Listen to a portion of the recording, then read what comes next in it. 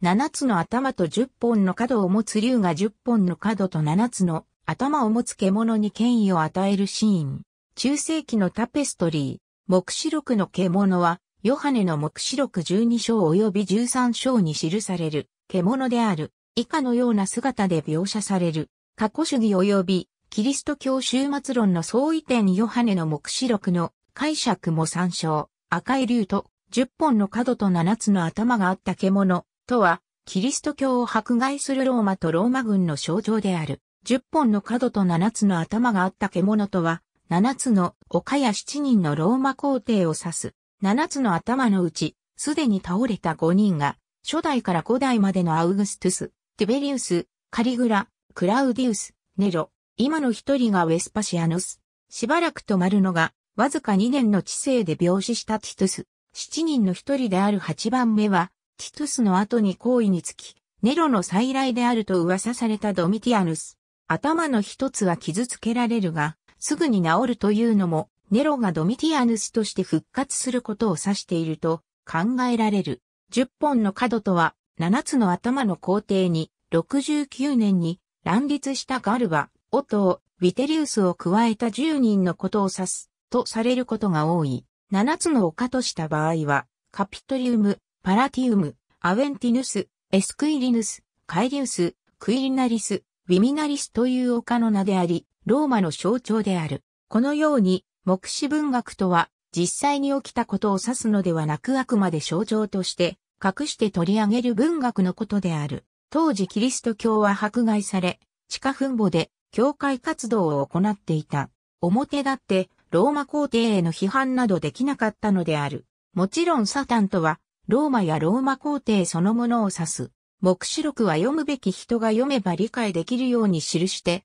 その代表例がゲマトリアで記され、一般的に666として知られる獣の数字である。これは皇帝ネロを指していると一般的には言われている。したがって、すべてがローマ皇帝の迫害から逃れるために、比喩や象徴を用いた一種の暗号で書かれている。七つの頭と十本の角を持つ赤い竜、十本の角と七つの頭があった獣は紛らわしいが、実は同じ頭数で、同じ本数である。象徴する意味も同じである。ただし、赤い竜とは、エデンの園で、禁断の果実を食べさせるようにそそのかしたサタンで、あるとして、邪悪そのものと言った方が正しいと考えられる。その邪悪そのものから権威と支配を、鉄の杖でもって獣、すなわち、ローマ帝国に与えられるのである。鉄の杖とは世界を支配する象徴でもあり、預言者の象徴でもある。故に、偽預言者という記述がこれ以降登場することになる。